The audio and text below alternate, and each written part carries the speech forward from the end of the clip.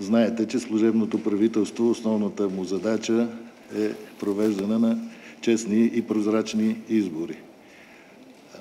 Остават ни още три дни. Полагаме непрекъснато усилия в тази посока. До сега да не чуе дявола, ще кажа, извинявайте за израза, всичко върви в ред. В петък ще направим последно, последно събиране с... Ще поканим и ЦИК да дойдат, да видим как са нещата като за, като за последно. Аз само ще си позволя да отправя един призив към българските граждани. Гласувайте активно на изборите, за да може да има редовно правителство, което да работи в посока подобряване живота на българските граждани.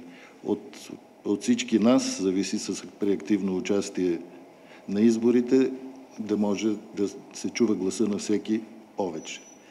Благодаря на медиите.